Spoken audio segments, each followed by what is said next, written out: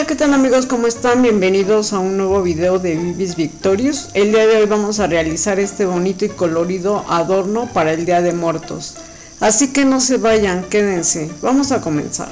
El primer paso será trazar un círculo en un pedazo de cartón del tamaño de nuestra preferencia. Yo voy a utilizar esta charola que es de un pastel y para esto utilizaré una caja de pizza. Voy a trazar doble el círculo ya que este cartón viene un poco delgado. No importa si se encuentra un poco manchado ya que no se notará.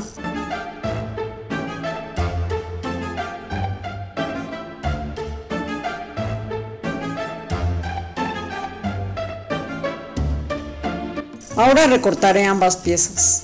Una vez recortadas ambas piezas las pegaré con pegamento blanco de carpintero sin diluir y dejaré las partes más limpias hacia afuera.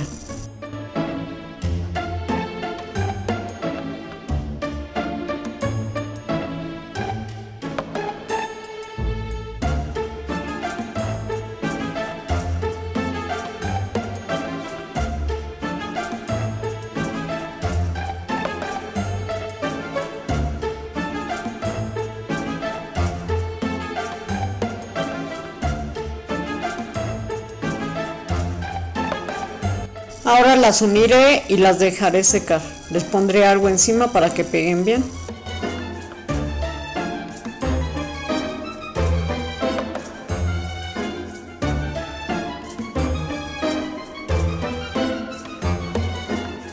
Y mientras seca el cartón vamos a realizar flores de papel en diferentes colores y tamaños. Para esto trazaremos unos círculos y los vamos a cortar en forma de caracol, así como están viendo.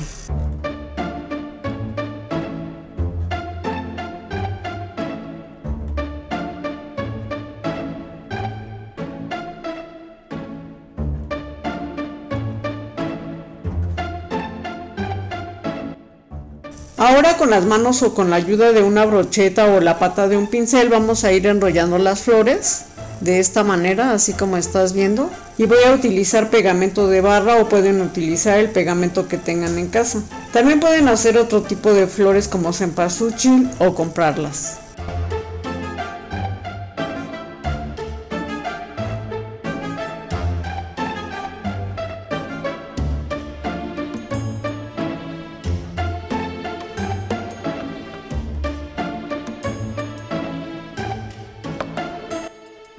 Y lo mismo haré con todas. Aquí como ven ya realicé bastantes flores de diferentes tamaños y colores. Bueno aquí ya tengo el cartón seco, ahora le voy a hacer cartapesta, voy a utilizar papel con el que envuelven los zapatos. Por la parte de enfrente lo voy a arrugar muy bien y lo voy a pegar con pegamento diluido en agua. Es 70% de pegamento de carpintero y 30% de agua. Ahora lo moveré muy bien y lo colocaré sobre el cartón. Por la parte de atrás voy a procurar no arrugarlo tanto para que no vaya a rayar la superficie donde lo voy a colgar. Y le voy a hacer dos o tres capas de cartapesta dejando de secar entre capa y capa.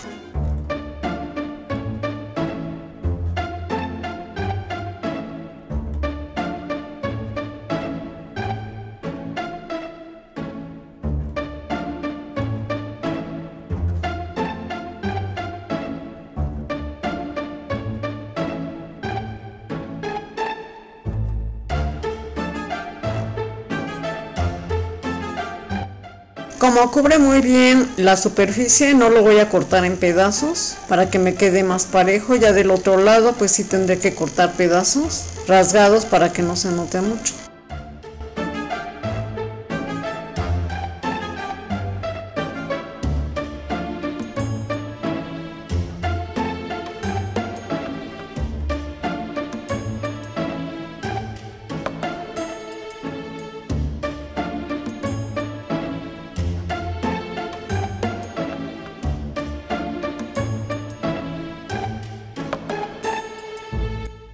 Aquí ya la cartapesta secó, le puse también una colita de pato para poder colgarlo, en esta parte como ven es un poco más lisa, ya la había arrugado pero traté de que fuera lo más liso posible y de este lado está rugoso. Ahora lo voy a pintar con pátina en color azul porque es el color que yo quiero, no tengo pintura acrílica, así que para que seque más rápido se puede lo podemos barnizar con barniz en spray o esperar por lo menos un día a que seque. Y lo estoy haciendo con una esponjita y pues un guante para no mancharme.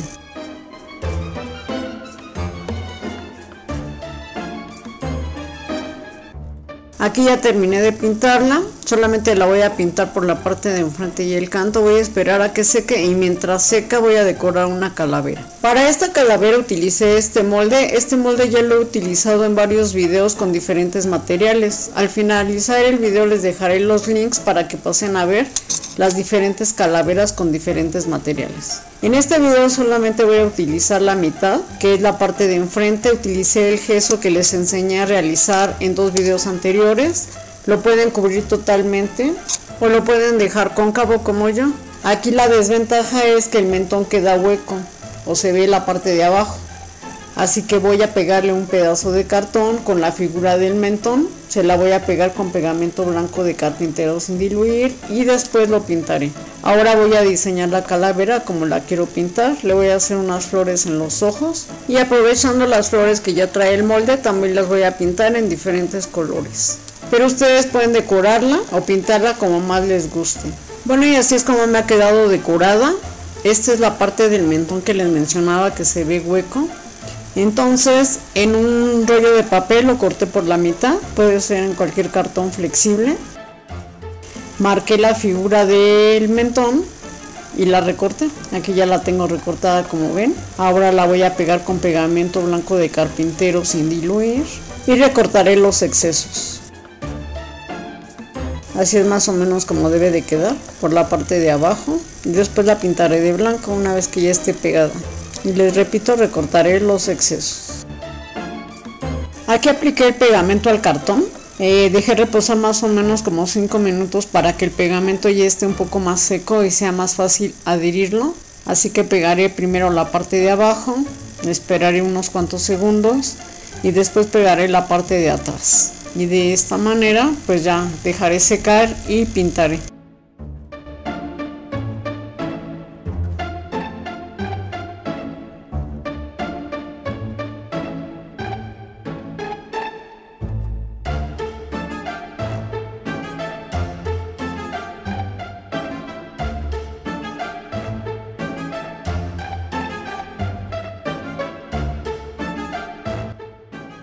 ya casi para terminar, voy a centrar muy bien la calavera sobre el círculo de cartón. Le voy a colocar pegamento blanco de carpintero sin diluir por la parte de atrás.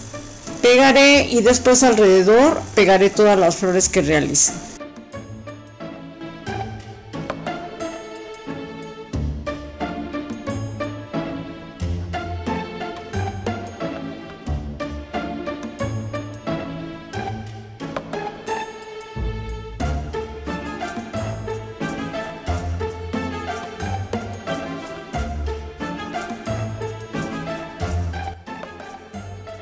Para reforzar la calavera al final y al cabo no se va a notar, le pegué unos pedazos de papel alrededor de la calavera, entre la calavera y el cartón.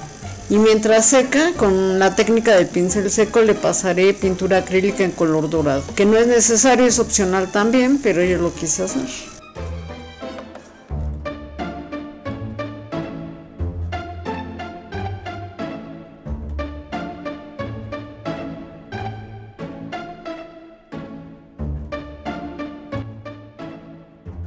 Una vez que haya secado la pintura procederé a pegar todas las flores alrededor, pero lo haré con silicón caliente para que sea más rápido y con mucho cuidado para no quemarnos.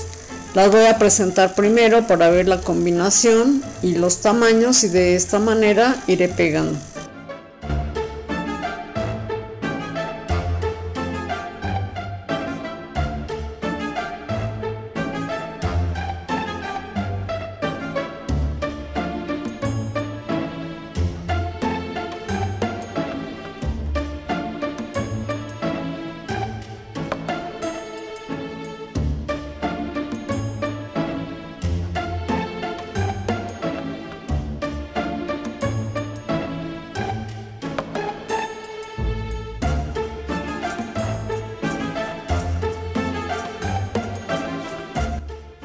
Como ven aquí ya le he avanzado un poco más al trabajo, es el mismo procedimiento para todas las flores, así que lo terminaré y les mostraré el resultado final. Bueno y este sería el resultado final, espero les haya gustado y de ser así no se olviden de darme un like y si no se han suscrito los invito a que lo hagan, eso me ayudará muchísimo. Y nos vemos en un próximo video.